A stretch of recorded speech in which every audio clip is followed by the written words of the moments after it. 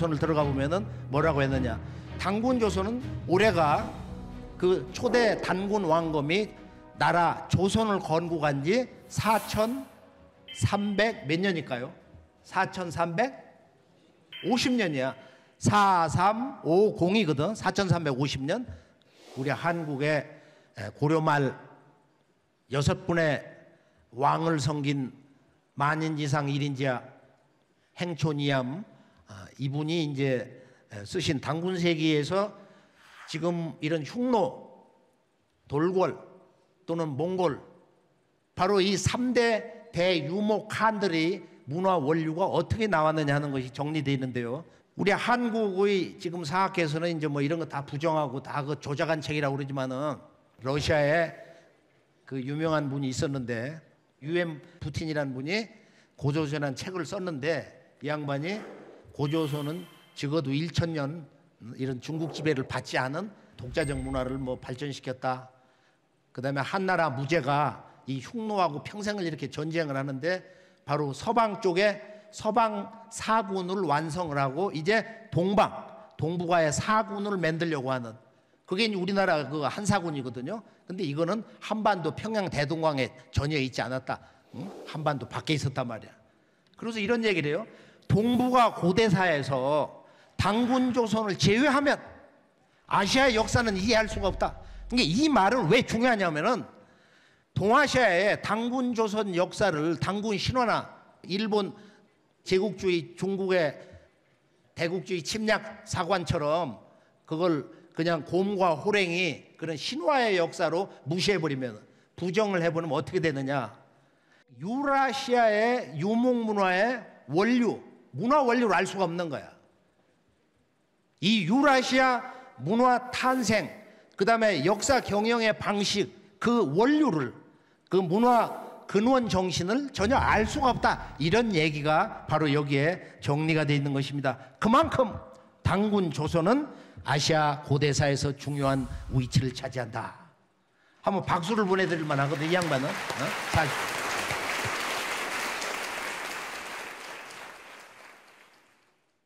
모든 유목 문화의 원형적 삶이라고 하는 것은 다시 말해서 유목 문화의 그 문화 원형이라고 하는 거, 국가 경영 방식이라는 거, 또 그들의 그 인간관, 신관, 탱그리 신을 섬긴 그 종교관, 이 모든 것은 단군 조선과 뗄 수가 없는 절대적인 관계를 맺고 있는 것이다. 자, 그러면은 단군 조선을 들어가 보면은 뭐라고 했느냐? 단군은 한 분 있는 게 아니고 1세, 2세, 3세 해가지고 47세까지 47분의 단군이 있었고 전체 영년은 2096년이다. 로마 역사도 2000년이야. 이집트 역사도 2000년이 넘어. 우리 한국의 통일 신라가 신라가 천년 왕국이야. 단군 조선은 2000년이야. 그런데 이 역사는 제1왕조 시대 그리고 제2왕조 시대 이제 제3왕조 시대에서 이렇게 이제 역사가 이제 나눠지는데 우선 세 번째 당군 가륵 당군 때 열양의 욕살 삭정을 그 약수 지방에 봉했다. 이 흉노 시조가 됐다 이런 기록이 있어요. 그리고 4세 오사구 당군 때는 더 재밌는 아주 흥미있는 기록인데 오사구 단군 왕검의 친동생 오사다를 옹고에 칸으로 임명을 했다 하는 기록이 나와 있습니다. 그러니까 우리 한국과 몽골도 보면은 그, 그 사람 왕족이야 왕족 그 사람들이 그렇게 가까운 사이예요. 그래서 유목문화의 전체 계보도를 보면은 이쪽 천산 환국에서 환웅이 이제 저 동방에 해백산으로 코미타투스를 3천 명 도시국가 창건 특수부대를 데리고 가서 거기서 배달 신시를 열고 그리고 이제 단군 왕검이 계승을 했는데 지금부터 4,200년, 4,100년 그 경계에서 흉노, 그 다음에 돌궐, 몽골의 그런 그 문화의 시발점이 이제 이루어졌다. 그래서 이제 흉노는 보면은 이제 동과 서, 그 다음에 이 동육로가 이제 북흉로, 어, 남흉로로 갈라지고 여기에서 훈족이 나와가지고 4세기 중반에 이제 서구 로마 제국을 무너뜨리는 어떤 손길로 작용을 합니다. 그 다음에 이제 6세기에 돌궐 제국이 생겨가지고 서돌궐과 동돌궐 지금 우이구르 제국이라든지 셀주크 제국, 그다음에 오스만 제국이 이제 동로마 제국을 멸망시키는 거야. 1453년인가 해가지고서 지금 우리가 터키를 가보면은 서양하고 동양하고 이렇게 붙어 있는 거 이스탄불 예전에 콘스탄티노플이라고 하는 이것을 함락을 시켜서 오스만 제국의 슐탄이 함락을 시켜가지고 이제 이 로마 제국이 완전히 멸망을 당하게 됩니다.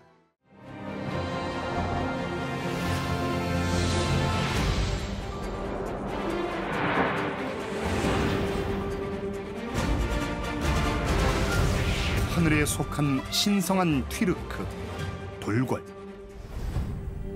돌궐에서 튀르크 그리고 터키.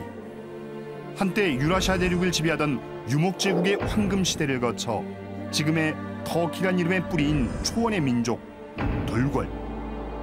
오늘날엔 시베리아에서 중앙아시아 터키 이르는 광대한 지역에 약 1억 6천만 인구가 여러 국가를 이루고 있다. 터키를 비롯하여 카자흐스탄, 우즈베키스탄, 아제르바이잔, 키르기스스탄, 투르크메니스탄 같은 독립국들과 몰도바, 우크라이나, 중국 서부의 위구르 자치구 등이 있다. 유라시아를 동서로 가로지르는 방대한 영역과 크고 작은 다양한 국가들.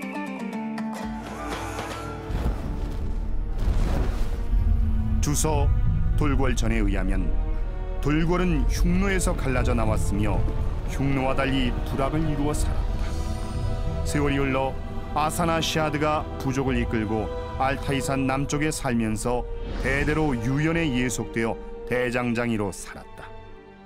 그들이 살던 알타이산의 모습이 투구와 비슷하기 때문에 부족 이름을 돌궐이라 했다. 북사 돌궐 전에는 이 이야기와 함께 돌궐의 선조는 삭국에서 나왔으며 흉노의 북쪽에 살았다라며 또 다른 근원을 전한다. 돌궐의 정식 명칭 괴 튀르크는 하늘에 속한 신성한 튀르크란 뜻이다. 유엔에게 지배를 받던 돌궐족은 521년 부민 가한 때 고차를 차지한 다음 몽골 초원의 지배자 유엔을 격파하고 돌궐 제국을 세웠다. 부민 가한이 죽자 아들 무한이 숙부 이스테미와 함께 정복에 나서 동물원 대흥알령에서 서론 카스피에 이르는 유라시아 초원지대를 모두 지배하는 최초의 제국이 되었다. 이스테미 아들 달두가한이 583년 서돌궐 한국을 선포하면서 돌궐은 동서 제국으로 나뉘어졌다. 중국의 당나라가 들어서자 당태종이 돌궐 제국의 내분과 자연재해를 기회로 삼아 동돌궐을 무너뜨렸고 두 개로 분열한 서돌궐도 둘로 분열하며 당나라에 멸망당했다. 그러나 불과 반세기 만에 돌궐족은 쿠틀룩과 토뉴쿡을 중심으로 제국을 재건하였다. 이때 제2돌궐 제국은 카프칸 칸 때 동서 돌궐의 영토를 거의 회복하였다. 그 후 위구르의 쿠툴룩 빌게 카간에게 멸망당했다. 위구르는 중국과 우호 관계를 유지하고 수구드족으로부터 만이교와 문자를 받아들였다. 위구르는 840년 키르키스족에게 망하고 920년 거란에게 쫓겨날 때까지 몽골 초원을 지배하였다. 초원을 빼앗긴 위구르인들은 남쪽으로 내려가서 오늘날의 중국 신장 위구르 지역에 정착하였다. 돌궐 건국 당시 알타이 산맥 주변에 거주하고 있었던 오구주족은 스스로 튀르크 또는 튀르크맨이라 불렀다. 오구주족은 킵차크와 카자르, 카를룩에게 끊임없이 공격을 받다가 11세기 이후 점차 비잔틴 제국으로 진출하였다. 셀주크도 그 가운데 하나였다. 셀주크는 이슬람으로 개종하고 1040년 토그릴의 영도 아래 셀주크 제국을 세웠다. 셀주크 제국은 분열된 이슬람 세계를 통일하고 그 지배자가 되었다. 1071년엔 비잔틴과 싸워 비잔틴 황제를 사로잡았다. 셀주크의 침략을 받은 비잔틴이 기독교 국가의 도움을 요청하여 200여 년에 걸친 십자군 전쟁이 발발하였다. 오스만 제국은 셀주크 제국을 이어받았다.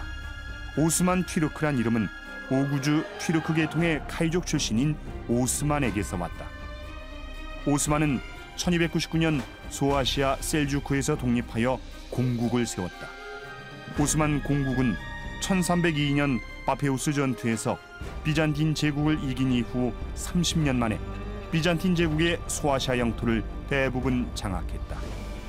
한때 티무르의 침입을 받고 10여 년간 분열과 혼란을 겪다가 메메드 2세가 1453년 콘스탄티노플을 함락시키고 비잔틴 제국을 모두 차지하였다.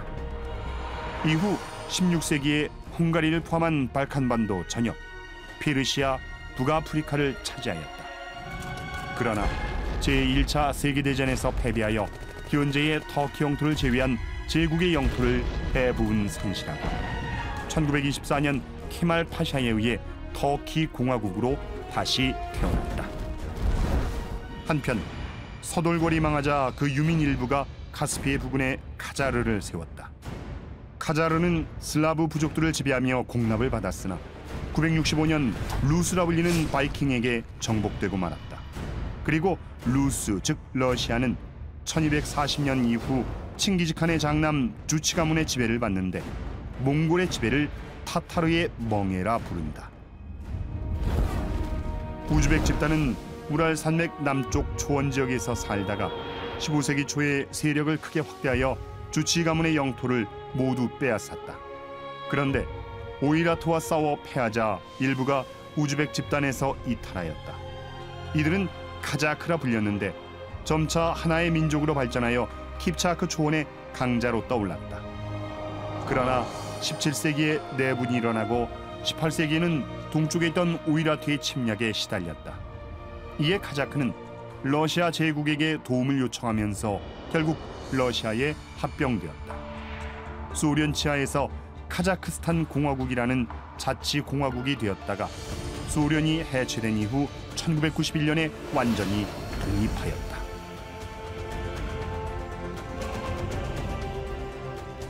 그리고 이제 이 예, 몽골 쪽은 보통 중국 문헌에서 보면 호라고 하는 걸 쓰거든요. 이렇게 오랑캐우자.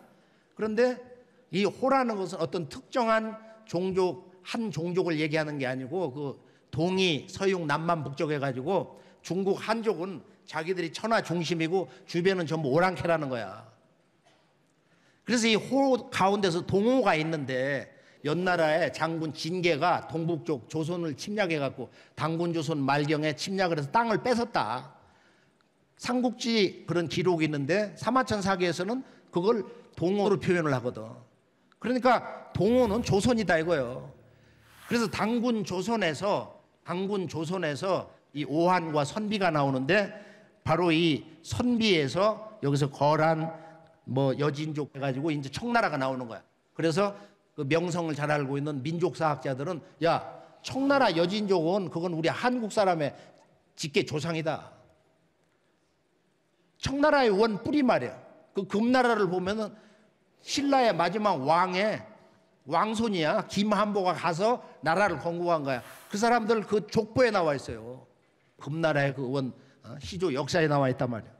그러고서 이제 이 선비 계열에서 몽골 시루이 가운데서 징기스칸이 나와서 칸이 되고 전 부족들이 대칸으로 이제 징기스칸으로 모셨는데 거기서 나이마인이 뭐 여러 부족들 가운데서 이제 반대 저항 세력이 생겨가지고 그거 평정하면서 이제 40대 중반을 보내고 거기서부터 이제 8년 동안 세계 정벌의 그 대망을 펼치기 시작을 합니다. 이게 미국의 최고의 그 경영자들, CEO들이 인류 문명사에서 가장 강력한 충격을 준 인류의 새로운 문명사를 연 그 넘버원 맨은 누구냐? 제1의 인물은 누구냐? 그랬더니 많은 사람들이 징기스칸이다. 그런 얘기를 했어요. 징기스칸. 나는 내가 나를 정복했을 때 징기스칸이 되었다. 이런 명언을 남겼거든. 자, 그럼 이걸 좀 간단히 정리를 했는데 영상을 보기로 할까요?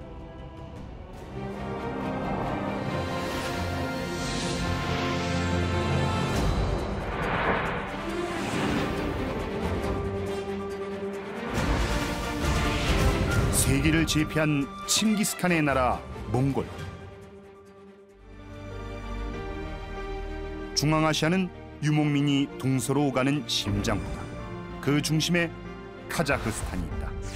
이 카자흐스탄 땅을 거쳐간 지구의 3대 유목문화 제국 가운데 하나인 몽골. 그들은 누구인가? 몽골은 용감하다는 뜻의 부족말에서 유래했다. 몽골에서 칭기즈칸이 출현한 뒤 그곳 유목민들은 스스로 몽골이라 불렀다. 몽골의 기원은 사마천의 사기의 동호로 나온다.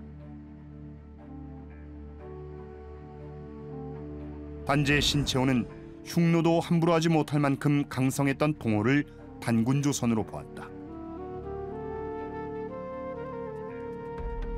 단군세기에 따르면 단군조선 제4세 오사구 단군이 서기전 2137년 아우 오사다를 몽골이 안에 봉했다고 한다. 단군조선은 유라시아 문화에서 칸의 종주이다. 칸국은 한자말로 왕의 나라를 말한다. 진정한 대칸이신 단군은 동방 칸들을 임명했다. 그 실예가 동이부족 칸임명이다. 하나라를 무너뜨릴 때 탕의 권위를 받아들여 동방 동이부족 칸들에게 총공격 명령을 내렸다. 나중에 칭기즈 칸이 나와 대칸이 되지만 대칸의 종주 진명천자는 서기전 2333년 전 신인 단군 왕검이다. 몽골족이 섬기는 천신 탱그리도 단군을 뜻하는 몽골어에서 나왔다고 볼 수 있다. 몽골의 창세 역사는 어디에서 시작되었는가? 또 어떻게 하여 중앙아시아 카자흐스탄을 건너 러시아 그리고 중동의 이란과 이라크를 아우르는 방대한 제국을 세우고 인도에 이르러 거대한 무굴 제국까지 세울 수 있었는가? 유럽으로 뻗어나간 몽골 유목문화의 손길이 중앙아시아 카자흐스탄에도 살아있다. 카자흐스탄은 삼주스로 이루어졌다. 삼주스 문화는 어디에서 왔는가? 몽골의 사물루스에서 왔다. 울루스는 몽골어와 터키어로 국가란 뜻이며 백성, 사람이란 의미도 포함하고 있다. 사물루스는 단군주선의 사만 관경에서 왔다. 그것은 동방 유목민족의 창세 문화, 원형 문화로서 환국, 해달, 조선으로 계승된 동방 신교의 삼신 우주 신학이다. 삼신의 원리에 따라 나라를 사만으로 다스렸다. 하늘엔 삼신, 땅엔 삼한, 사람 몸인 삼진이 있다. 헝가리의 구스, 우즈베키스탄의 우즈, 러시아의 루스, 카자흐스탄의 주스, 몽골의 울루스는 바로 창세 역사 시절의 사만에서 왔다. 몽골족은 텡그리 신의 계시를 받아 대자연과 하나 되는 삶을 살았다. 이 텡그리 신도 본래 삼신이다. 몽골 유목 민족은 술을 마실 때 먼저 조상신과 자연신에게 반드시 세 번 떠서 뿌렸다. 또 오어주의를 세 바퀴 돌며 소원을 빌었다. 몽골에도 삼신 문화가 살아 숨쉬고 있는 것이다. 유목민족은 서기 전 2500년경부터 중앙아시아와 몽골 초원을 누비며 동서 문화를 소통시켰다. 서기 전 3세기 후반 흉노는 몽골 초원을 지배하며 동방 신교의 유목 문화, 삼신 문화의 전형을 가지고 들어왔다. 그러나 1세기 말 흉노 제국은 내분과 반복되는 외세 침략으로 멸망했다. 곧이어 선비족이 1세기부터 3세기까지 중앙아시아를 지배했다. 중앙아시아의 고대 몽골계 유목민족들로 규합된 선비족은 흉노와 마찬가지로 하늘을 아버지로 땅을 어머니로 섬기는 천지 부모 신앙 문화를 갖고 있었다. 유연은 4세기 중엽 지금의 몽골 지역에 나라를 세웠다. 그 문화는 흉노 선비와 비슷했다. 동쪽을 선호하여 동양으로 게르를 짓고 머리를 닦는 풍속이 있었다. 6세기에서 10세기는 돌궐계가 몽골 초원을 장악했다. 그러나 9세기 중반 키르기스의 침입으로 돌궐의 후예인 위구르 제국이 붕괴하여 남쪽으로 이동하자 몽골 총원인 일시적으로 힘의 공백이 발생했다. 이때 위구르 제국의 동북부 변경 지역에 살던 타타르족을 비롯한 나이만, 케레이트, 메르키트, 오이라트, 몽골 등 다양한 몽골계 부족이 유입되었다. 이들은 자신의 집단을 모두 울루스라 했다. 이 몽골계 집단은 신구당서의 몽골 시리란 이름으로 알려졌다. 그 가운데 시리라 불리는 집단도 포함되어 있다. 이 실위족에서 칭기즈칸이 이끄는 몽골족이 출현했다. 몽골 비사에 따르면 몽골은 오논, 케룰렌, 툴라, 세강이 발원하는 부르칸 칼둔산 근처에 자리 잡았다. 이들은 부르테치노와 코아이 마랄이라는 전설적 조상의 후예로 동쪽에서 이주해 온 집단이다. 그 후손과 결혼한 알랑구아는 하늘의 빛으로 잉태해 몽골인의 선조가 되는 세 아들을 낳았다. 막내 보돈찰이 보르지긴게 키아트 가문의 시조가 되었으며 칭기즈칸은 그의 10대 손이다. 하늘의 자손으로 여겨지는 칭기즈칸의 황금 가문은 이로부터 기원한다. 칭기즈칸 곧 테무친의 부친 예수게이는 메르키트 부족 수령의 아내인 호엘룬을 납치해 결혼했다. 테무진은 1162년 오논강변의 델리운 몰닥에서 태어났다. 1178년 16살 무렵 테무진은 보르테와 결혼한다. 그러나 메르키트 부족이 호엘룬을 빼앗긴 것에 대한 복수로 테무진의 아내 보르테를 납치해갔다.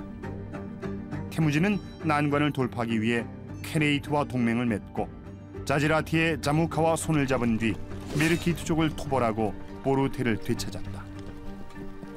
테무진은 1189년에 쿠릴타이에서 전 몽골국의 칸으로 추대되어 최초로 칭기즈 칸이란 칭호를 얻었다. 1206년 칭기즈 칸은 쿠릴타이에서 국가 운영을 위한 기본 조직과 제도를 만들었다. 먼저 통합된 유목민들을 모두 천호란 조직으로 재편성하고 자기에게 충성했던 사람들을 천호장으로 임명했다.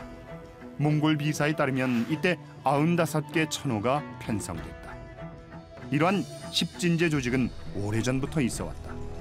그러나 몽골의 천호는 군주에게 충성하는 고도로 중앙 집중화된 조직이란 점에서 달랐다. 또한 천호, 백호, 십호의 수령 자제들로 구성된 만 명에 달하는 친위대인 캐식을 조직했다. 그리고 정치 체제를 3부로 나누어 중부는 대칸이 직접 통치하고 좌우부에는 각각 대만호를 임명해 다스리게 했다. 이제까지 대립과 반목을 되풀이하던 유목민들은 강력한 조직과 규율로 무장된 새로운 기마 군단, 종족과 언어의 차이를 넘어 모두 몽골이라 불리는 새로운 집단으로 재조직되었다. 몽골 제국, 곧 대몽골 울루스라는 거대한 정치 연합체가 탄생한 것이다. 14세기 중반 차가타이 울루스에서 몽골 제국의 전통을 계승한다고 자부하며 몽골을 뜻하는 모굴이라 자칭한 유목민들 사이에서 이슬람이 급속히 퍼졌다. 이때 새롭게 등장한 티무르는 35년간 원정을 단행하며 중앙아시아에서 서아시아 그리고 킵차크 그 초원에 이르는 광대한 영역을 정복하여 제국을 건설했다. 그는 이슬람의 수호자로서 그리고 대몽골 울루스의 재건이라는 명분과 목표를 내세워 통합을 이루려고 했다. 그의 우대손인 바부르가 인도로 들어가 무굴 제국을 세웠다. 몽골의 후손들이 경영한 무굴 제국은 수많은 소규모 왕국들로 분열돼 있던 인도를 정치적으로 통합시켰다. 무굴 황제들은 무슬림이었지만 힌두교를 존중하고 종교적 화합을 추구했다. 이 때문에 이슬람 문화가 별다른 저항 없이 수용되어 인도 문화를 한층 더 풍부하게 만들었다. 그러나 14세기 중반을 전후하여 몽골 제국은 전반적으로 붕괴된다. 청해 영하 인근 지역에서 처음 발생한 흑사병이 동방의 칸 울루스는 물론 서방의 3대 울루스를 거쳐 유럽으로 퍼져나갔다. 이 때문에 몽골 제국을 구성하던 여러 울루스가 치명적인 타격을 입고 울루스들을 연결하던 내륙 교통로의 기능이 마비되며 제국의 전반적인 약화와 붕괴를 초래했다. 청은 내몽골을 점령하고 1689년 청러 간 네르친스크 조약을 체결하여 점차 몽골 전역을 장악해 나갔다. 몽골은 청나라의 지배 속에서 1911년 신의 혁명을 기회로 독립에 성공한다. 하지만 같은 해 청나라 멸망 후 들어선 중화민국의 무력 침공으로 독립은 사실상 물거품이 되고 만다. 이후 지속된 독립운동 과정에서 러시아의 지원을 받으며 1924년 몽골 인민공화국으로 세계에서 두 번째 공산국가로 외몽골만 독립한다. 소련 해체 이후 1992년 민주화를 이루었으며 사회주의를 폐기하고 오늘의 몽골국에 이루고 있다.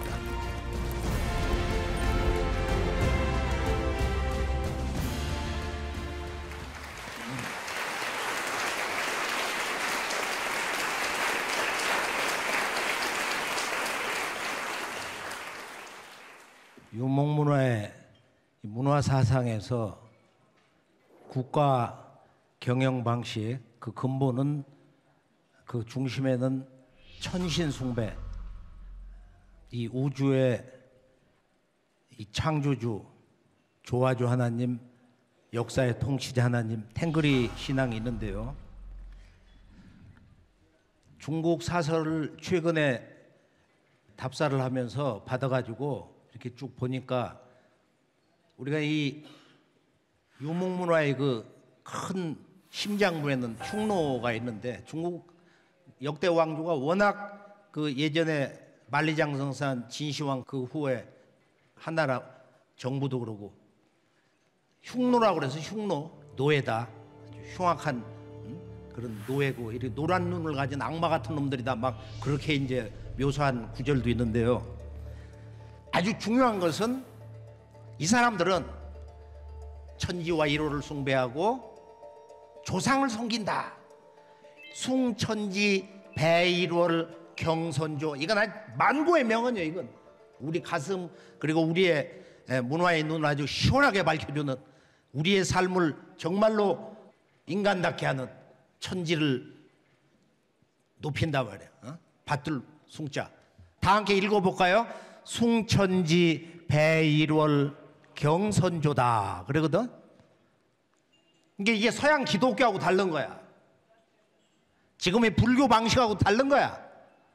이것은 인류 문화의 근원이 되는 인류 문화의 원형이 되는 모태 문화, 어머니 문화가 가지고 있는 가장 소중한 인간의 삶에 있어서 한시도 소홀히 할 수가 없는 이 진리의 근본 주제, 역사 문화의 중심 주제가 바로 이 천지, 천지 일월을 숭배한다. 이 숭배를 나눠 가지고 이렇게 얘기하고 있는 거야.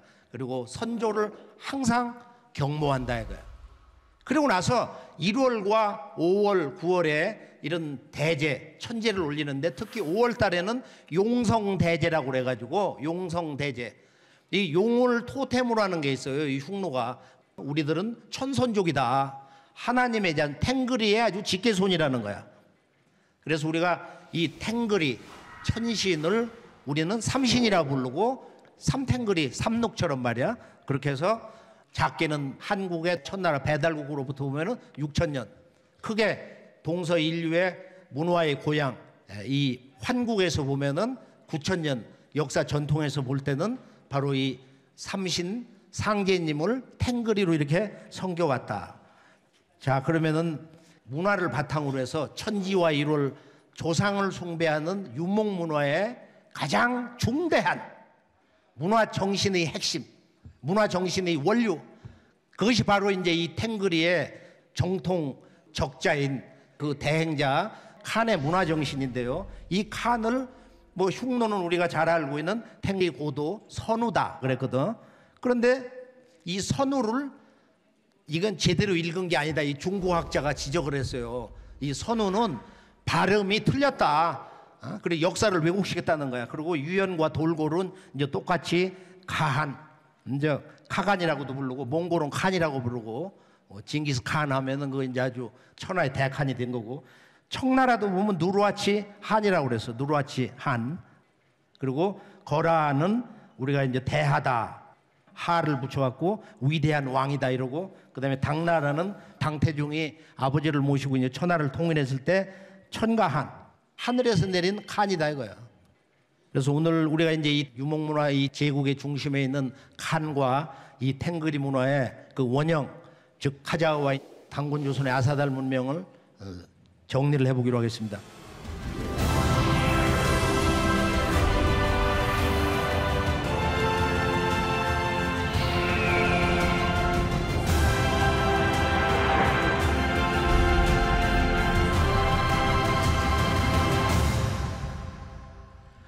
지금 대한민국은 그 역사학계에서 역사관이라는 것은 어떻게 얘기되고 있느냐? 우리는 한반도 안에서만 이렇게 어, 살다가 지금까지 왔다. 반도사관이라고 그래요. 이걸 소환사관. 이것은 뿌리를 부정해. 단군은 신화다. 없는 거라는 거야. 끼꺼대야 단군 조선은 한 뭐 2800년, 3000년 고고학 청동기 유물로 보면은 그 이전은 인정할 수가 없다. 결단코 건 신화라는 거야. 이렇게 단호하게 그들 조상 뿌리를 부정하고 있는 것입니다. 그 다음에 이 당군 조선에 이런 기록에 남아 있는 북방 민족사를 다 부정하는 거야. 실제 소홀히 하고 있는 거야. 그것은 우리들 대한의 원 조상 단군 조선의 그 역사와 직접 친연 관계가 있다. 이렇게 감히 주장을 못 하는 거야. 지금 홍사 문화 같은 것도 중국 정부에서 이건 우리들의 역사가 아니다. 신비의 왕국이다. 그건 만리장성 밖에 저 북방 문화다.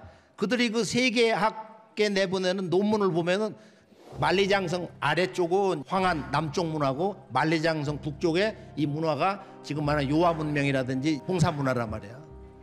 그 남북 문화의 특성을 우리 중국 문화는 다 가지고 있다. 이렇게 다 가져가 버렸어. 처음에는 이게 자기들 문화가 아니고 해설할 수 있는 기록이 1페이지도 없어요.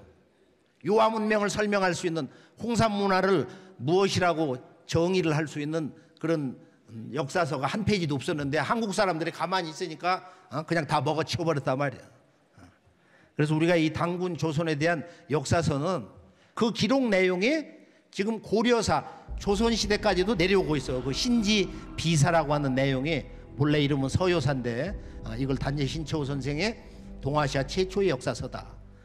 6세 당군 때 동아시아의 칸들이 다 지금 중국의 장춘 그 한 성산에 모여가지고 탱그리에게 천신을 모시는 그런 문화 행사가 있다고 6세 단군조에 나와 있는데 그리고 이제 우리가 잘 알고 있는 지금 상공유사, 상공유사 그 시대에 같이 나온 행촌이암의 단군세기 그리고 이제 규원사와 동사연표, 조선세력 대동사강 뭐 쭉 해서 넘어가 보면은 어, 이런 책들이 없는 게 아닌데 무조건 다 부정을 한단 말이야.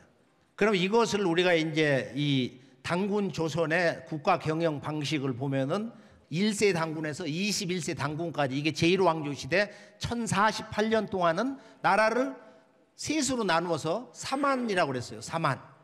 그래서 만주 쪽은 진안이다. 한반도 전체는 마안이다. 그리고 요서 산동성에서 그 아래쪽까지도 보면은 단군 조선의 직접 간접 통치 영역이었는데 이것을 삼한 관경제다. 이것이 가장 중대한 당군 조선 역사 경영 방식에 대한 중심 문화 언어다. 키워드다 말이야. 단군 조선 문화를 이해하는 가장 중요한 그 결정적인 역사 주제 언어가 바로 사만. 사만으로 관경, 나라의 국경을 관리했다, 경영을 했다. 삼한 관경 제도다. 삼한 관경제. 한국의 전통 역사학에서는 이것을 이해를 못하는 그 이유는 무엇일까? 몇십 년을 고민하면서 생각을 해보면은 바로 이 우주 탱그리 문화를 이해를 못하는 거야. 나와 이 대자연, 나와 내가 나온 저 하늘, 나와 이 우주는 어떤 관계 있냐 말이야. 음?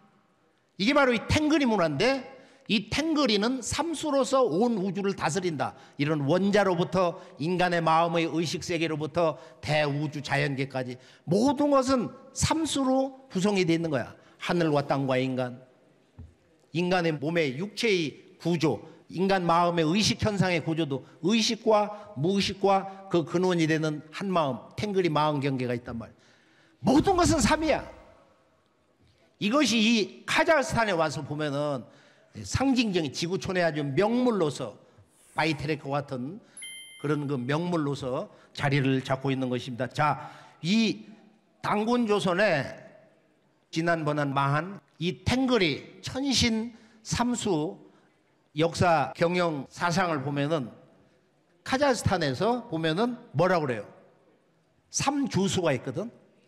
발음상 뭐 주즈, 주수라고도 하는데 보면은 주잔, 주잔국이다. 당군 조선은 조선이라고 하고 중국 문서에 보면 주신이라고도 해. 문서에 보면.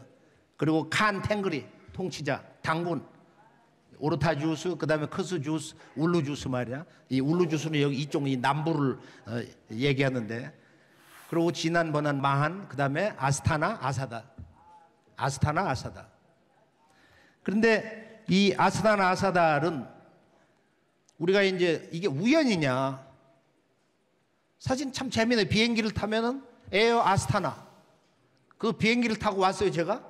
수도 아스타나를 갔어. 처음 아스타나에 내렸거든. 그리고 지금 그 아사달에 신단수를 보러 간 거야. 바이테렉을 가서. 그러니까 신단수 삼신 탱그리의 그 창조 이법을 상징하는 세계 기둥을 보고 거기에 삼각형이 있더라 말이야. 칸 지금 이 나라에 예, 왕님 있잖아요 지금. 그 왕님 칸이. 예, 내가 이 나라의 대칸이니까 우리 카자흐스탄 말 국민들 나와 한 마음이 되자. 이거거든. 그렇잖아요?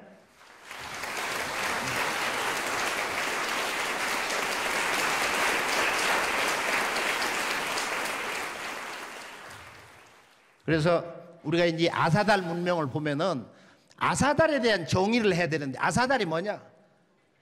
뭐 우리 옛날 그 조선인들은 이렇게 어머니들이 이제 빨래를 할 때 우선 이렇게 이제 비벼 놓고 뭐라고 하냐면 아시로 빨고 왔다고 그래. 그래서 이 아사라고 하는 말이 최초의 또는 보면은 뭐 이 아사다라면은 탁 터진 큰 땅, 응? 어, 최초의 땅 이런 뜻인데 밝은 땅, 아스타나. 멕시코에 스페인 군대가 쳐들어갔어. 제가 이제 멕시코 수도를 가니까 거기서 뭐라고 하느냐면은 스페인 군대가 거기를 쳐들어와 가지고 거대한 피라밋 그 건물을 보고서 쉽게 말하면 그 어, 아사달 문명의 천재단을 보고서 너무 놀래 가지고 당신들은 어디서 왔어? 그러니까 우리는 저 동북아에서 배를 타고 아스탄에서 아스탄에서 배를 타고 왔어. 그래서 이 아스탄, 아사달, 아스타나는 전 지구촌에 여러 지역이 있어요. 그러고서 이 멕시코 사람들이 자기들은 아스테카다. 아스테카. 우리는 하얀 사람이다. 이 사람들이 상투를 틀고 있거든. 지게를 지고 애들을 업어주고 우리 고려인의 옛 풍속을 멕시코의 옛 사람들, 옛 조상들이 그대로 가지고 있는 것입니다. 그래서 우리가 이제 이 아사달에 탱글이 천신을 숭배하는 문화는 우리가 보면은 이 환국의 그 건국자, 통치자, 환인께서도 이 천산에 머무르시면서 주제천신 즉 탱그리 신에게 천재를 올렸다 제사를 올렸다. 또 그걸 계승한 바로 이 환웅천왕은 동방에 오셔가지고 3, 7일 이 탱그리 문화의 상징이거든. 3과 7이라는 게 3, 7에 20일 스무 하루 동안 바로 탱그리 신에게 천상의 삼신 상제님께 제를 올렸다. 이런 기록을 하고 있단 말이에요 그러면은 정리가 된 거지만은 지금 어, 상국유사 고조선조에 동방엔 어떤 제국이 있었냐 아까 우리가 그 유엔 부틴 그 러시아 박사님 말씀대로 당군 조선을 모르면은 이 유목 문화의 문화의 고향에 들어갈 수가 없다. 전혀 유목 문화의 그 역사 문화 정신을 우리가 그 원료 뿌리를 알 수 있는 길이 없단 말이야. 그만큼 당군 조선은 중요하다. 그러면 이 당군 조선은 어디서 온 거냐? 그것이 바로 그 다음 다음 단락에 있어요. 그래서 우리 한국인 고려인들의 조상들이 직접 써놓은 책 옛 기록이라고 그래. Ancient Record. 잠깐 한번 그 원문을 성우의 목소리로 들어볼까요? 위서에 이르기를 지난 2000년 전에 단군 왕검께서 도읍을 아사달에 정하시고 나라를 세워 이름을 조선이라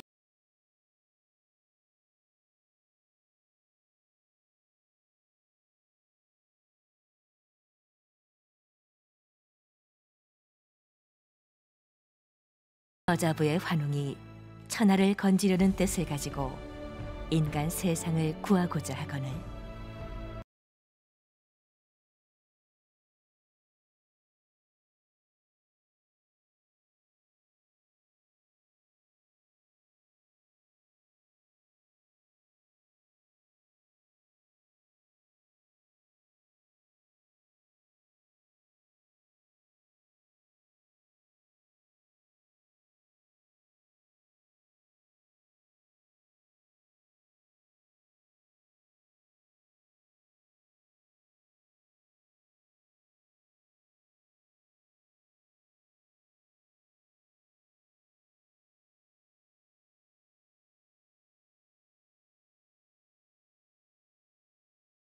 환웅께서 풍백과 우사와 운사를 거느리고 농사와 왕명과 질병과 형벌과 선악을 비롯하여 인간 세상에 360여 가지 일을 주관하시고 신교의 진리로서 정치와 교화를 베푸셨다.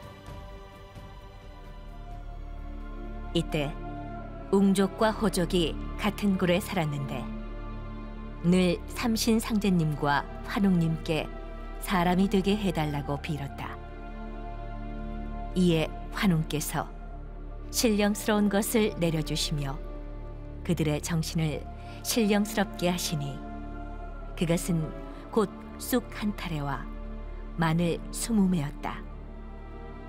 환웅께서 이르시기를 너희들은 이것을 먹으면서 햇빛을 보지 말고 백일 동안 기원하라.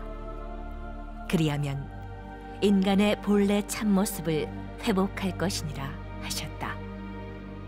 웅족과 호족이 환웅께서 주신 쑥과 마늘을 먹으면서 스무 하루 동안을 삼가매 웅족은 여자의 몸이 되었으나 호족은 금기를 지키지 못하여 사람의 몸이 되지 못하였다. 웅족 여인이 혼이 날 곳이 없으므로 매일 신단수 아래에 와서 아이를 갖게 해달라고 빌었다. 이에 환웅께서 웅족 여인을 임시로 광명의 민족으로 받아들여 혼인해 아들을 낳으시니 이름을 단군 왕검이라 하였다. 지금으로부터 약 한 700여 년 전에 이 책이 이제 나왔는 이건 세계학계 공인된 문서인데 여기 이제 당군 조선에 대한 기록을 한번 잠깐 볼까요? 원본을 보면은 자 왕침이라는 사람이 2000년 전에 이런 우의서를 썼는데 여기에 뭐라고 그랬느냐면은 우의서에 운 우의서에 말하기를 내왕 이천제제 지금부터 한 2000년 전에 유 단군 왕검이 계셔서 입도 아사달 하시고 아사달에 도읍을 세우시고 그리고 개국호 조선하시니 나라를 세워서 조선이라고 불렀는데 여고동신이라 4300년 전에 중국의 윤인군과 같은 때였다. 지금 이 우리들 한국인 고려인의 조상이 직접 기록한 우리에 대한 우리 스스로의 기록 이게 이제 고기인데 고기인데 여기를 보면은 아버지가 그 아들에게 천부인 천부라는 것은 아주 이제 이게 우리가 이걸 천부경으로도 해석하는데 인류 최초의 경전 지금 우리는 불경이나 또는 신약 구약밖에는 모르지만 9천년 전에 이 천산 밑에 환구에서 나온 인류 최초의 경전 천부 천부경이 있었단 말이에요. 9980일 거기에서 모든 종교 동서의 정치 사상 인간의 생활 문화 깨달음의 원리가 나온 것입니다.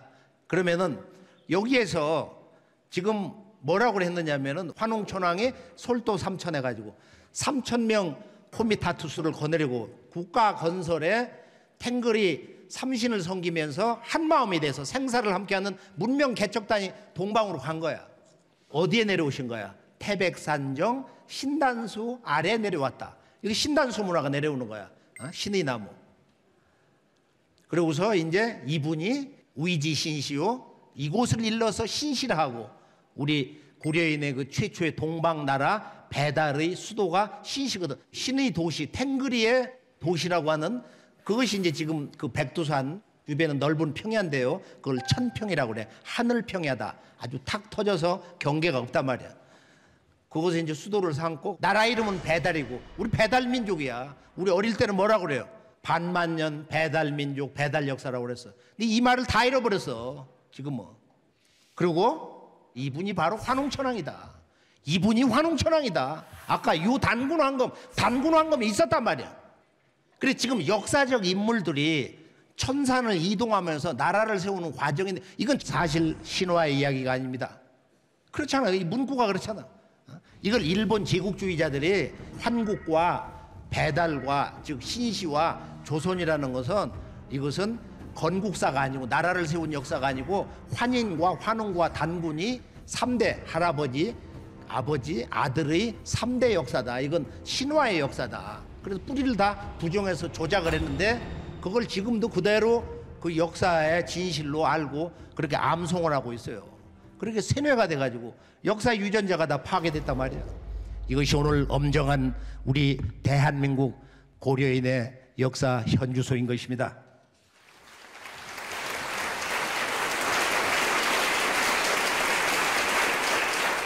자 만주로 가보면은 여기 지금 상강평원 있는데 중국의 3대 대평원의 하나입니다. 그런데 백두산에 물이 이렇게 쭉 흘러서 송화강으로 해서 이렇게 돌아가지고 왼쪽에 하얼빈이 있고 오른쪽에 이제 칠성산 그다음에 유명한 복링고성이 있는데 여기에서 정말로 그 누구도 놀라지 않을 수 없는 대사건이 일어났습니다. 왜냐하면 중국에서 이제 중국 정부 CCTV에서 이걸 찍어가지고 방영한 적이 있는데 바로 지금 문명의 탱글 신앙 원형이 나왔어요. 그 재단이. 그래서 지금은 여기를 누구도 못 들어가도록 철망을 쳐놓고 이게 지금 3층 단을 이렇게 해서 저 위에 재단이 있는데 재단이 있는데 북극성이 있고 저 위쪽에 그리고 일곱 개 칠성이 있습니다. 이것이 이제 탱그리 신앙의 원형이에요. 이것을 모든 그 유목문화 제국의 대칸들은 이 문화 정신을 그대로 이 탱그리 신 바로 삼신 탱그리신 삼신 상제님의 그 역사 문화의 정통 신의 대행자 상제님의 대행자로서 이 문화를 가져왔단 말이에요. 어, 여기 북극성 카자흐스탄 지금 그 어? 국장을 아까 봤잖아요.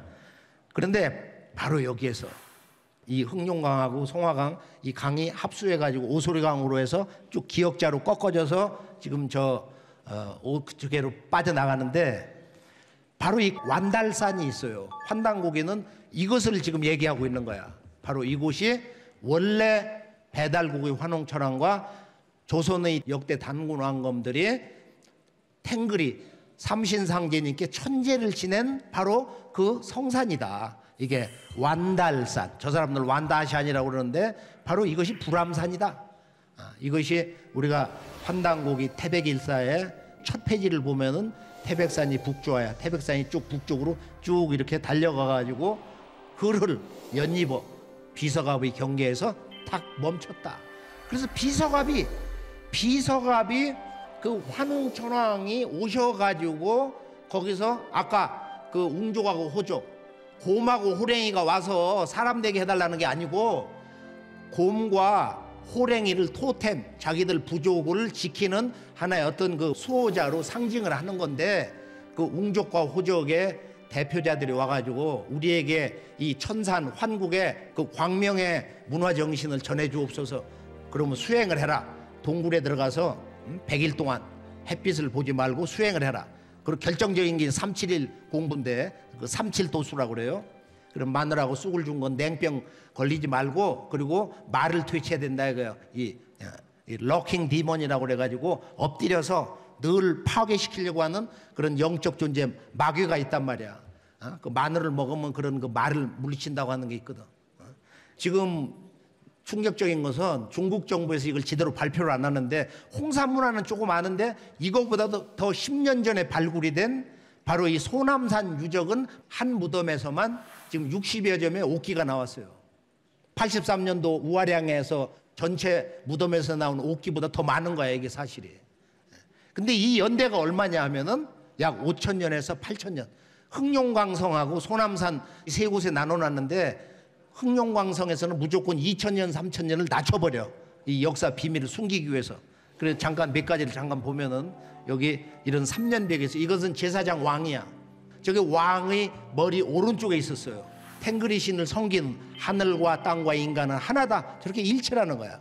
3년벽. 이 3년벽이 나오고 여러 가지 이제 옥 유물이 나오고 있습니다. 이건 옥도끼인데 옥도끼.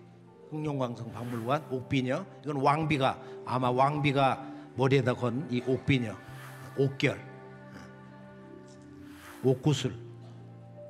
자 정리를 간단히 해보면은 지금 이 동서 인류 문명의 고향 환국에서 환웅이라고 하는 분이 서자부의 아마 그 왕자님인가 본데 그런데 이 환국은 어떤 나라냐? 환국은 천산 동방에서 열두 나라로 있었다는 거예요. 환국은 열두 나라가 있었다. 그래서 그 환국을 연 그 최초의 나라 아버지가 누구냐? 그것은 바로 어, 암파견, 암파견 환인이다. 1세 환인이. 그래서 1세, 2세, 3세에서 7세 환인까지 있었다. 근데 그때는 사람들이 아마 수백 세를 살았는가 봐. 인류학에서는 이때를 황금 시절이다. 그 다음에 낙원 시절이었다. 그 전쟁이 전혀 없었던 건 아니지만은 그 중심 이런 환국에는 큰 전쟁이 없었다. 물론 12환국에서도 그 나라가 서로 이렇게 분쟁이 일어나 가지고 한 나라가 이렇게 족속이 되고 이동한 내용이 태백일사 환국본기라든지 그런 내용에 나와 있습니다. 자, 그러면은 이제 우리가 이 칸의 원형이 어디서 온 거냐? 이 지구촌 유목 문화에 이 칸의 제왕 문화의 원형은 어디서 왔냐? 그것을 우리가 언어의 분화 과정으로 보면 이 칸이라는 말이 있고 이 말은 동방 당군 조선의 삼한 문화에서 왔다. 그것이 이제 삼주수 문화로 이제 이렇게 분화가 되는데 칸은 한에서 오고 그 한은 바로 천산 동방의 인류의 원형 문화, 인류 최초의 문명국과 환에서 왔다 이거야. 환국의 통치자 환인에서 온 거다. 그래 인류 최초의 그 대가는 누구냐? 바로 암파견 환인이다. 아버지 환인이다. 암파견은 개천이 부지명이야. 탱그리의 마음 그 신법을 전수받아 가지고 개천 입부 아버지의 도를 세웠다. 그것이 바로 암파견이다. 아버지의 다른 말이야. 그러니까 요 나라의 건국자 그 양반도 바로 암파견이라는 호칭을 직접 썼어요. 우리가 기록을 보면은 그리고 유라시아 문화권에 보면은 이 암파견이라고 하는 음사를 딴 그런 지명도 여러 곳이 있습니다. 근데 자료를 여기 지금 정리해 놨는데 환단고기를 보면은 열두 나라가 이렇게 있는데 지도를 보면은 그 열두 나라가 아, 천산 동방에 이렇게 배열이 돼 있다. 재밌는 것은 지구의 지붕 파미르곤에서 살던 케레이족이 몽골로 들어가서 그 아홉 족속이 열두 나라를 건설했다는 그런 전설이 있다 이거예요.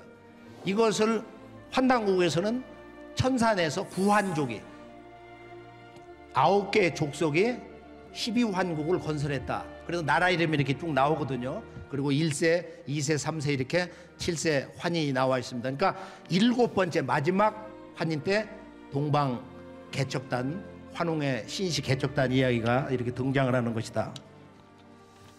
그러면 우리가 이제 동서 문명의 그 시원을 밝혀주는 인류 최초의 문명의 첫 나라, 아버지의 나라, 천산동방의 이 환국, 그리고 우리 한국인에게는 바로 배달, 조선, 북부여, 고구려, 어, 사국, 삼국 해가지고 남북국 시대, 북쪽에 이제 발해, 환단국에서는 대진국이다. 남쪽에 통일신라, 그리고 고려조선, 지금의 분단국가 시대인데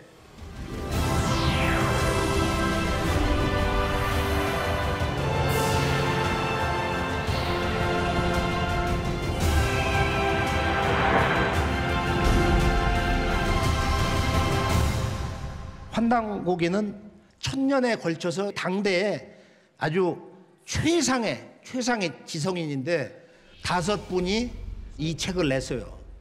첫 번째 책은 뭐 불과 한 4페이지밖에 안 되는 거야.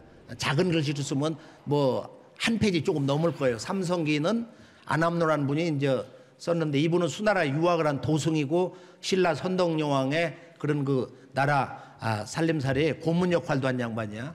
이분이 우리나라 국통을 바로 세운 거야. 환국에서 왔다. 그 다음에 우리는 배달이다. 다음에는 당군 조선이다. 그리고 북부여로 해서 고구려로 어, 그 계통이 내려왔다. 그 다음에 똑같은 삼성기를 또한 분이 썼어. 나는 여기에 빠진 내용을 좀 보강했다. 조선 왕조의 세종대왕의 아버지 태종 이방원의 스승인 바로 원천석이야. 그래 이 책에서는 이제 원동중이라고 그랬는데 중국의 이제 춘추 시대 진나라에 아주 유명한 사관이 있었어요. 그 동호를 존경을 해가지고 바로 내가 동중이다 말이야. 어? 역사관에 아주 근본을 바로 세우는 건 나다. 그리고 원천석의 삼성기를 보면은 여기에 이제 환국에 대한 내용이 좀 체계적으로 나옵니다. 3301년에 일곱 분 환인이 나오고 그걸 계승한 음, 바로 3천 명 개척단을 데리고 이제 신시에 온 이 환웅천왕의 족보가 나와요. 일세 환웅은 누구냐? 바로 커발란 환웅이라는 거야. 대한민국 사람이 지구촌의 대한국인이 말이야. 자기의 역사, 문화, 종교, 영성 문화, 의식주 생활 문화의 근원 이걸 모르고 있다 이거예요. 그래서 환국과 배달과 조선의 그 개국자 환인 천재 환웅천왕 당군 왕검을 모르고 있어요. 근데 북한 9월산을 가면은 북한 9월산을 가보면은 국가에서 이렇게 지원을 해서 세운 사당이 있어요. 이 세 분을 모신 삼성사 사당의 어진이 그대로 그대로 지금 실감나게 실려 있습니다. 일십당 이맥이 태백에서 여덟 골을 썼는데 여기에 이제 이 내용을 보면은 바로 이 지구촌의 유라시아 유목 문화의 그 인간관, 그 다음에 탱그리 신관, 그 다음에 이 역사의 실제 그 국가 경영 방식, 그 다음에 나가서는 이 우주는 어떻게 존재하느냐, 이 우주의 본성은 뭐냐, 우리들의 삶의 목적은 뭐냐, 이런 내용들이 정말로 품격 있게 잘 정리되어 있기 때문에 바로 이 유목문화 탱거리 역사관 문화관의 경전이다. 소위 경전, 제1의 경전이다. 저는 그렇게 정의를 합니다.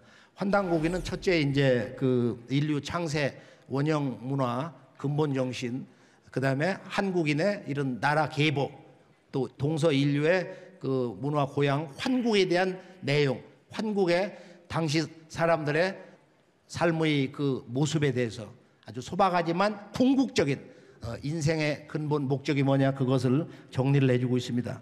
그리고 이 탱거리는 바로 하늘과 땅과 인간으로 신의 존재 원리를 이렇게 3개 우주로 나누어서 우주를 다스린다. 그래서 하늘의 광명을 환, 어머니 땅의 광명을 단. 그래서 환단이라는 것은 천지 광명의 역사 이야기거든. 그리고 이 천지 이 대자연 우주의 주인은 인간이다. 우리들 각자 한 사람 한 사람이다. 인간은 이 대우주 천지의 주인이다. 우리는 우주의 중심이다. 모든 인간은 우주의 중심적 존재다. 이것이 바로 탱글이 신앙 문화의 인간론인 것입니다.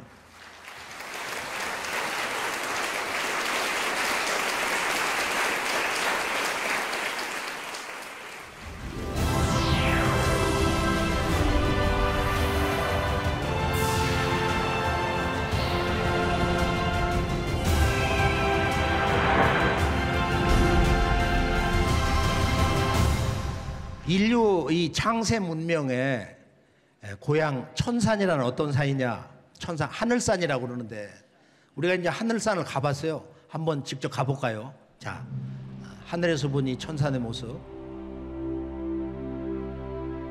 천산에 올라가면은 천산 호수가 있습니다. 여기서 보는 저 위에 가장 높은 봉우리 박격달봉 저것도 삼신산으로 돼 있어 이렇게 봉우리가 크게 셋으로 돼 있는데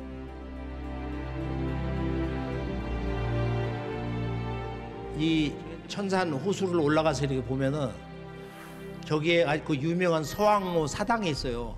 저 위에 있는 사당은 그 양반이 저기서 도통을 했다는 데고 그 아래 지금 본전은 동방의 모든 신선들이 저기서 일년에한 번씩 모인다는 거야. 저 서왕모 사당에서 저게 유, 이제 재밌는 여러 가지 이제 이야기도 내려오는데 서왕모 사당에 천산에 있더라. 그리고 천산에 올라가다 보면 거기 이제 어, 우리 카자흐족들이 100만 명이나 천산 안에 살고 있는데 이쪽 천산이나 저 너머 천산에서 보면은 야 천산은 말이야 우리 카자흐족 거야 이런 그 천산의 주인 의식이 아주 이 카자흐 국민들의 마음에 강렬히 남아 있습니다. 그래서 우리가 이제 저 모습을 보면은 저게 지금 박격달봉인데 조금 전에 봤던 요것을 우리가 이제 서역을 이렇게 쭉 댕기다 보면 한 박물관에 저기를 탄한산이다 이렇게 써놨어요. 중국 발음으로 해가지고 저건 단한산, 당칸산, 당칸산, 당군산이다. 그런데 이렇게 얘기를 해도 크게 시비 잡을 사람이 없어. 저게 이치에 부합하는 거거든. 그러니까 우리가 이 천산 문화를 이렇게 보면은 천산에 천산 호수가 있고 쭉 내려가서 보면 지구의 지붕 파밀고원이 있고 그 동서 산의 그 근원이 되는 골륜산이 있단 말이야. 그 골륜산을 올라가면 거기도 이제 호수가 있는데 천산 문화는 지리학의 음양 이치로 반드시 이 산과 이 강, 호수 이것이 음양 짝이 돼 있어요. 그래서 이걸 보통 백산흑수라고 그러는데 백산흑수가 동방으로 가면 갈수록 마치 음양 짝으로 이렇게 중간중간에 나와 있어. 그래서 동북아에 보면은 환단국에서는 이 백산우수, 백두산, 태백산과 그 다음에 흑룡강 이걸 흑수백산으로 이야기를 하고 있는데 저런 그 지명이 흑수백산 사상이 여러 곳에 여러 곳에 남아 있습니다. 우리가 이제 우리 보면은 뭐 이 카라쿨 뭐이 나라 저 나라에 보면 카라쿨 이 검은 호수가 있거든. 카라 카라 검다는 거거든. 이게 인도 신화에도 들어가 보면 있어. 동서를 우리가 이렇게 넘어 보면은 예, 유라시아 문화를 근본으로 해가지고서 바로 흑수 백산 문화가 산수 음양 사상으로 전체적으로 보면은 그 천산 문화를 이렇게 계승하고 있다. 자, 이 천산을 근본으로 해서 서쪽으로 넘어간 사람들이 누구냐? 이 천산의 12환국에서 거기에서 수밀리국 사람들이 이 천산을 넘어가서 서양 문명의 근원, 지금 기독교 구약 문화의 뿌리가 되는 아브라함의 조상이 됐다. 아브라함이 어디서 온 거야? 아브라함은 4천 년 전에 지금의 이스라엘 가나안으로 들어간 거야. 지금 이스라엘의 실질 역사라는 것은 이스라엘이 아니고 이라크 남부 땅이야. 갈대아 우루. 갈대아 우루. 그럼 우루에 자리를 잡은 거기에 10여 개 도시 국가가 있었는데 우리가 슈메르 문명을 보면은 약 1만 천년 전에 여리고에 식량 창고가 있었고 그리고 우리가 잘 알고 있는 슈메르 문화의 그 선행 문화를 보면은 그 유명한 우바이드 문명이라고 그래서 메소포타미아 문명의 그 원주민 문화. 그래서 한 5,500년 전에 해성처럼 슈메르인들이 나타나 가지고 인류 최초의 학교, 인류 최초의 의회 제도, 인류 최초의 문자 또는 이런 뭐 사전을 만들고 육십진법, 십진법 우리 동방사람과 같은 그런 수체계를 쓴단 말이야. 내가 여기 와서 김정민 박사하고 이제 같이 답사를 댕기면서 어? 아니 기독교 구약의 창세기 역사 원형이 여기에 있다 천산에 금단의 열매도 아 여기 알마테 알마테 이게 알마 뭐 사과라네 그게 할아버지 어? 사과의 원조다 그게 따먹지 말라는 금단의 열매라고 하는 그런 의미도 여기 있다고 말이야 그래서 창세기 역사의 그 원형 이야기가 원형 이야기가 이 천산 그것도 이 카자흐에 그대로 이렇게 살아 있는데 바로 기독교의 신앙의 조상, 지금 이스라엘의 믿음의 조상 아브라함, 아브라함이 애를 못 낳으니까 자기 아내가 자기 아내가 양심 가책이 돼가지고 자기 몸종을 줬어요. 하갈이라는 여성을 거기서 아들을 낳으라고 그랬죠. 거기 이스마를 낳은 게 지금 어, 이슬람 종교 문화의 원 그 혈통 시조인데 그래서 아브라함이 낮에 이렇게 그 쉽게 말하면 게르 같은 데서 이렇게 졸고 있는데 삼신이 오잖아요. 사람이 오는 것처럼 기록돼 있어. 이스라엘 주신이 말이야 그 내가 약속의 아들을 주겠다 해가지고 거기서 삼신을 받아. 그래서 삼신을 받아가지고 내년에 내가 다시 오마 이제 그 삼신이 얘기를 하잖아. 그래가지고 그 다음에 애를 낳아. 어? 그래서 이제 그게 첫 아들 이삭인데 그 이삭의 아내 리브가도 애를 못 낳아. 아브라함, 이삭, 야곱 그 아내 사라 리브가 라헬이 다 성녀야. 애를 못 낳는 여자들이야. 그래서 이 삼신 탱그리신 서원을 해가지고 삼신을 받아서 애를 낳단 말이야. 이게 기독교 구약의 이야기의 출발이야. 아담으로부터 10대, 10대, 노아 10대로부터 해서 이 아브라함이 나왔다. 아브라함의 역사부터 4천년 전부터 이스라엘 역사가 실제 거기 가나안에서 시작을 한 거야. 그 전에는 천산에서 넘어간 슈메르 사람들의 역사다 말이야. 슈메르 사람들의 역사. 그래서 기독교 구약 신약에 이런 그 탱글이 원형 역사, 창세 역사를 지금 성직자들도 잘 모르시기 때문에 삼신 얘기를 못 하거든. 못 해요. 끼거든 뭐 삼신 할매 이런 뭐 무당 얘기나 하고 있고 말이야. 그래서 우리가 서양 문명의 근원도 바로 지금 이 천산 유라시아의 성산 지구의 그 성산 2,500km 동북쪽으로 뻗은 이 천산 북쪽으로는 천산 남쪽으로는 지구의 지붕 파미르 원과 그 골륜 산맥 그리고 아래 인도에서 밀어붙인 거기 히말라야 산이 병풍처럼 서 있단 말이야. 그 사이가 이 지구 문명을 탄생시키는 바로 문명의 자궁이야. 생긴 게 그렇게 생겼어요. 실제 가보면은 남북 오만리 동서 이만리다 해가지고 12개 환국이 있었는데 지금 이 환국에 대한 것은 고고학적으로 실제로 발굴된 것도 없고 뭐 있다고 해야 그 해석을 제대로 못하고 있으니까 서양 문명의 그 근원 이 슈메르 문명에서 이집트 문명의 이런 피라민 문명 그런 그 기하학이라든지 건축술이 전수가 되고 이집트 문명에서 그런 태양신 문화가 또 기독교로 다시 이렇게 들어오고 그다음에 그리스 로마 문명의 근원이 된 것이다. 그래서 이제 그동안 역사를 다 조작을 해가지고 서양 문명은 그리스가 근원이다. 이건 아주 최상품 문화다. 아, 그리고 동양 오리엔탈 이쪽 너들은 미개한 인간들이고 말이야.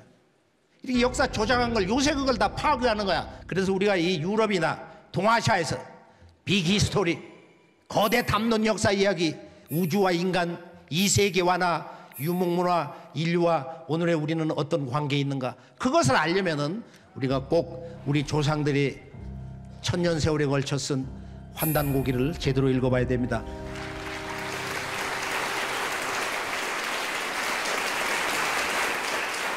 서양 학계에서 대한민국 학계에서는 야그 환단국이 내려오면서 다 조작을 해가지고 이하모개가 다 조작을 해가지고 넣고 빼고 해가지고 1983년도에 낸 거야. 이걸 한 세대 전부터 여러 학자들이 이제 논문을 써가지고 그 환단국은 믿어서는 안 되는 책이다. 이제 이런 얘기를 하는데 적어도 한 3, 40년을 이 책을 쭉 보면서 제가 이제 지구촌 역사 탐방을 한 건 어떤 계기냐면 환단국에는 실제 거짓말 책인가? 이것은 역사의 진실이냐? 이걸 지구촌 현장에 가서 한번 직접 보자. 가서 보니까 아프리카에도 있고 아일랜드, 영국 북부 스코틀랜드도 있고 말이야. 어? 중동에도 있고 이집트에도 있고 인도도 가보니까 있고 마야 문명에도 있더라 이거예요. 환단국에는 지구촌에 다 있는 거야.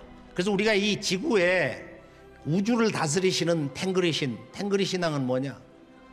그 유목 문화의 그 정신의 원 핵심이 뭐냐 말이야. 이게 오늘 탱그리와 칸의 정신. 칸이 어디서 걸어 내려온 거냐? 유라시아 문명의 이 시원 문화 중심 주제가 뭐냐? 간단하게 한번 정리를 해보기로 하겠어요.